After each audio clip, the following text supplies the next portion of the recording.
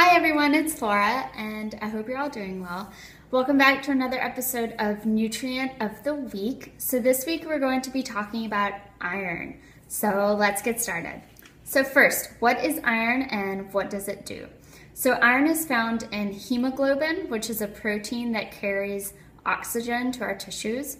It's also found in myoglobin, which is a protein that carries oxygen to our muscles. In addition to that, it helps in cell function it helps in growth and development, and it also helps create new hormones, which could be good or bad.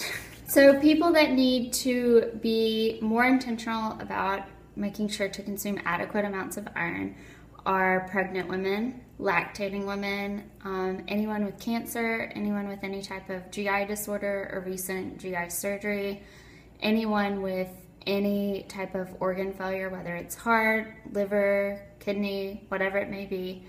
Um, also, individuals who are vegan or vegetarian, arguably, and of course, anyone who is iron deficient or has a history of iron deficiency. So, how much iron do you need? So, women ages 18 to 50 need 18 milligrams of iron per day. Men need 8 milligrams. Women 50 or older need 8 milligrams. Women who are pregnant need 27 milligrams, and women who are breastfeeding need 9 milligrams. So there are two types of iron heme iron, which is found in meat, poultry, and fish, and then non heme iron, which is found in fruits, vegetables, beans, and whole grains. So, heme iron is more readily absorbed than non heme iron, about 14 to 18% of heme iron is absorbed. In regards to non-heme iron, approximately 5 to 12% is absorbed. So next I'm just going to give you some key points and suggestions if you're someone who's making sure to get adequate amounts of iron or if you're on iron supplementation. So number one, educate yourself on which foods are high in iron, which I'll get to in a minute. And then also consume your tea and coffee separate from those iron rich foods. So, say 30 minutes to an hour, do not consume tea and coffee with those foods. Next, vitamin C helps with the absorption of iron.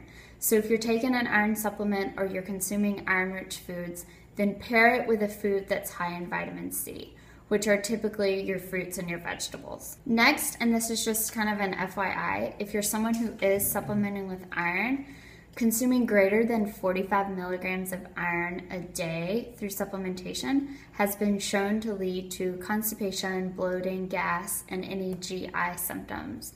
So, if you're someone who does start to experience those, then making sure to consume adequate amounts of fiber and drink plenty of water to avoid any of those GI symptoms.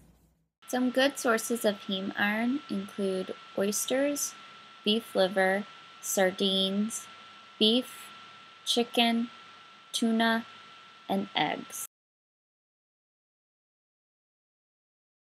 Some good sources of non heme iron are fortified breakfast cereals, white beans, lentils, spinach, kidney beans, potatoes, cashews, rice, and broccoli.